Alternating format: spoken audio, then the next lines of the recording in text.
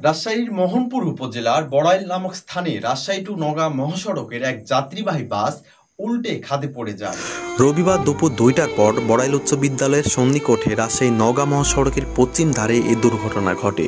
এ ঘটনায় শিক্ষার্থীদের কেউ আহত না হলেও বাস যাত্রী প্রায় বিশ জন আহত হয়েছেন।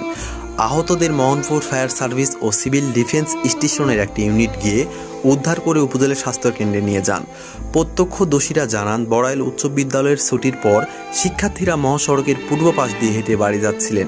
এ সময় রাজশাহী থেকে নওগাঁগামী হানিফ পরিবহন রেজি ঢাকা মেট্রো, ব এগারো, চোদ্দ, একচল্লিশ বাসটি হাটরা মোড় অতিক্রম করে সামনে থেকে আসা একটি মাইক্রো বাসকে সাইড দিয়ে শিক্ষার্থীদের বাঁচাতে হাডিং ব্রেক কষে মুহূর্তেই উল্টে গিয়ে খাতে পড়ে। দুর্ঘটনার পর বাসের ড্রাইভার পালিয়ে যায়। এ ঘটনায় অল্পের জন্য প্রাণে বেঁচে যায় শিক্ষার্থীরা। প্রায় বিশ জন বাস যাত্রী আহত হয়েছেন। আহতদের মধ্যে পাঁচজনকে ফায়ার সার্ভিসের একটি ইউনিট গিয়ে উদ্ধার করে স্বাস্থ্য কেন্দ্রে নিয়ে যান। বাকিরা প্রাথমিক চিকিৎসা নিয়ে চলে যান। ড্রাইভার মানে নিয়ন্ত্রণ ছাড়াই গাড়ি চালাইছে গাড়ি জোরে চালায়। আসছে একটু মাইকও নিয়ন্ত্রণ করতে পারে